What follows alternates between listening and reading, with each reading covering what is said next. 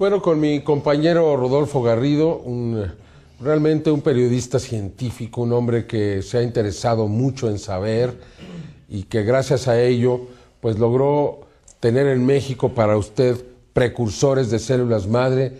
Es impresionante lo que se está logrando con las células madre, es impresionante lo que está viendo Rodolfo Garrido, los resultados que están obteniendo quienes las están tomando.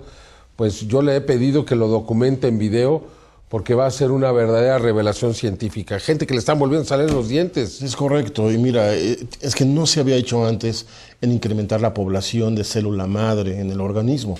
Ahora con ese principio de este premio Nobel del doctor Ferid Murad, que nos permite estimular la médula ósea y aumentar la población de célula madre entre un 15 y un 20%, eh, dentro, o en la sangre del paciente o de la persona, pues nunca se había visto qué podemos esperar. Y hoy estamos viendo los resultados. Los resultados son inesperados.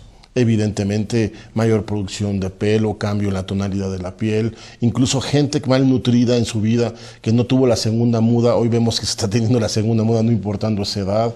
En fin, eh, evidentemente se han bajado los índices de glucosa porque le beneficiamos a las células beta pancreáticas para que se produzca una mejor calidad de, insulina en su, cuerpo. realmente la célula madre, eso es madre, es viene de matriz. Realmente está generando nuevas células que permiten un mejor funcionamiento en el organismo. Se regenera todo el cuerpo. Es en general, o sea, esto está tenido a lo general, no a lo particular. O sea, esto va general, a nivel sistémico en el organismo. ¿Qué te parece? Es fantástico, como fantástica la información que nos vas a presentar.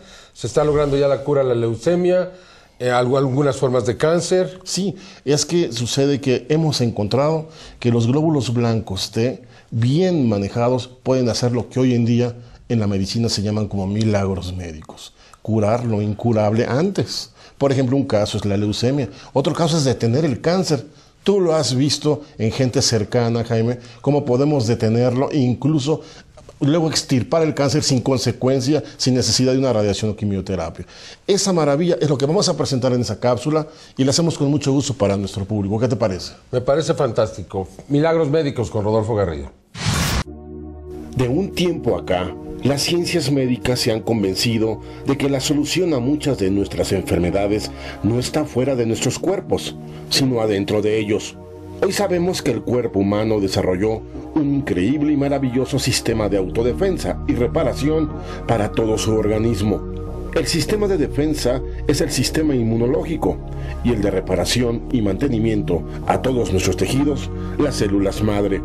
Es asombroso saber que tanto los glóbulos blancos B y T, que forman nuestro sistema inmunológico, como las células madre, tienen ambos una misma cuna, la médula ósea. Hoy la medicina sabe que el sistema inmunológico se basa en dos tipos de células base.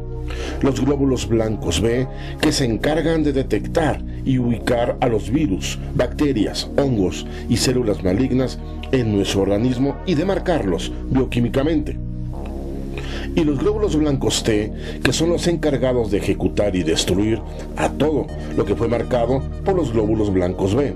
Esto es, un grupo es juez y el otro ejecutor. Detectar, marcar y destruir es la regla de nuestro sistema inmunológico para mantenernos sanos y sin enfermedades.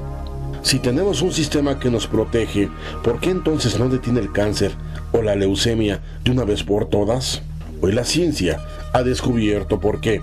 Al crear la médula ósea los glóbulos del sistema inmunológico, el glóbulo blanco tipo B lo forma maduro y el glóbulo blanco T lo forma inmaduro. El maduro se integra a la sangre y ejerce sus funciones de inmediato, esto es, marcar a los agentes malignos. Sin embargo, contrario a esto, el glóbulo blanco T se incorpora a la sangre de manera inmadura haciendo imposible hacer sus labores de destrucción.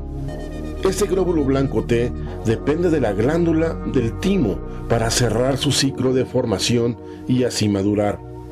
Hasta nuestros 20 años de edad, todo marcha a la perfección en nuestra salud.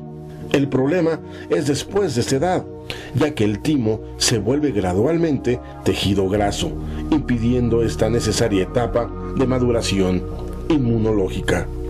Gradualmente nuestro sistema inmunológico se va debilitando llegando al extremo que una simple gripe puede convertirse en una peligrosa neumonía.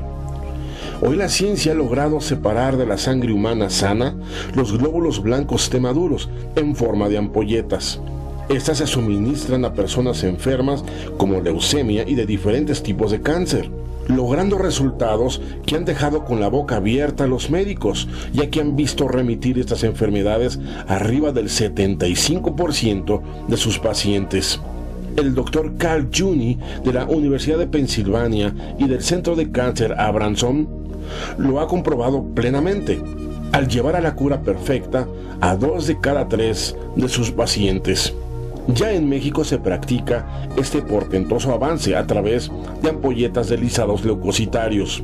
En ellas se concentran glóbulos blancos temaduros que reabastecen la población en la sangre, haciendo que un paciente, no importando su edad, rejuvenezca el poder de su sistema inmunológico equiparable a la fuerza que tenía cuando él vivía a la edad de 18 años.